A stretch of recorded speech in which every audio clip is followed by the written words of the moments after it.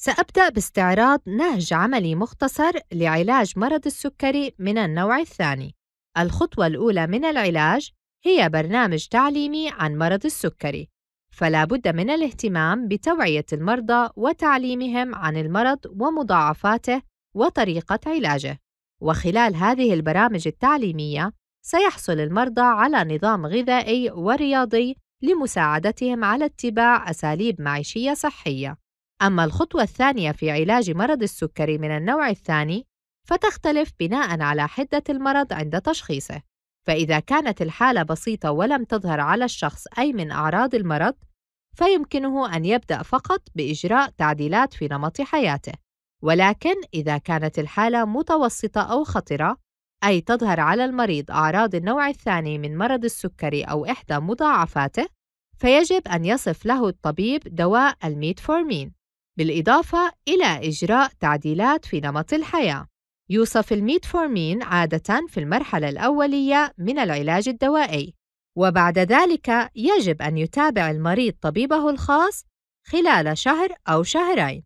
وإذا تحسن مستوى هيموغلوبين A1C لديه فيشير ذلك إلى أن الجسم تأقلم مع الدواء وتمكن من السيطرة على المرض، وبالتالي لن يكون على المريض سوى الالتزام بمتابعة الطبيب على الأقل مرتين في السنة، بالإضافة إلى إجراء فحص للعينين بشكل سنوي عند طبيب عيون مختص.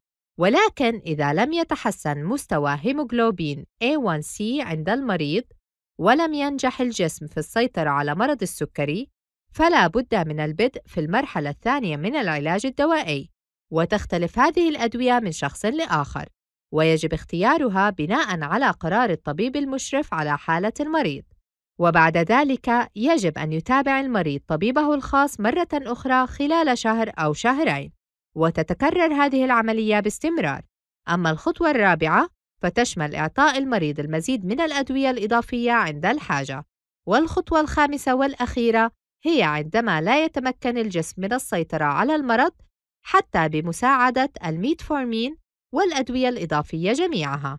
وفي هذه الحالة يجب إضافة الأنسولين إلى خطة العلاج. وضبط الجرعة ليتمكن الجسم من المحافظة على مستويات الجلوكوز الطبيعية في الدم وهكذا تكونون قد تعرفتم على النهج العلمي في علاج مرض السكري من النوع الثاني وكما أشرت في البداية يمكن لمريض السكري أن ينعم بحياة سعيدة وصحية وخالية من أي مضاعفات